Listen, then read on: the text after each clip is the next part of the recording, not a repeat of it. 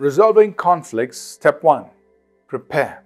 Matthew 12 and verse 34 For out of the abundance of the heart, the mouth speaks. This week, we want to spend some time talking about biblical guidelines or uh, principles that we can use to resolve conflicts.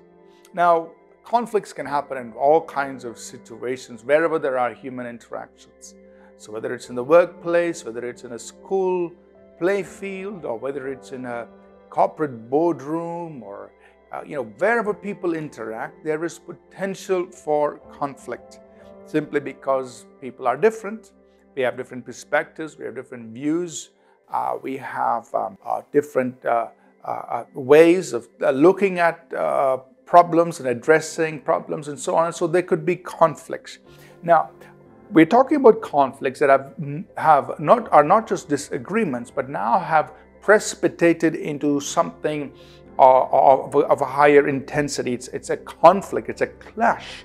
And um, maybe there has been misunderstandings, there have been words, things, uh, words spoken or things done that have been a little hurtful or harmful.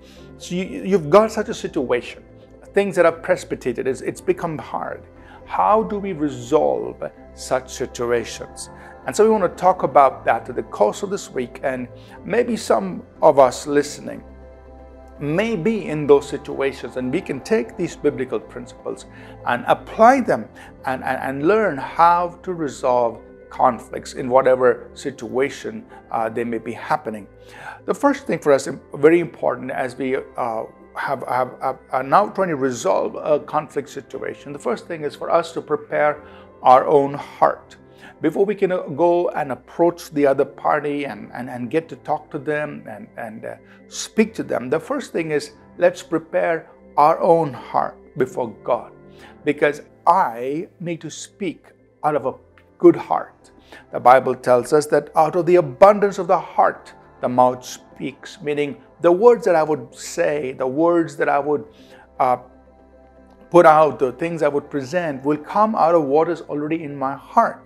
And so I need to let God deal first with the matters of my heart. So I need to prepare my heart before God. So I go before God. I take this whole situation to Him. I say, God, uh, here's a situation that has got out of hand.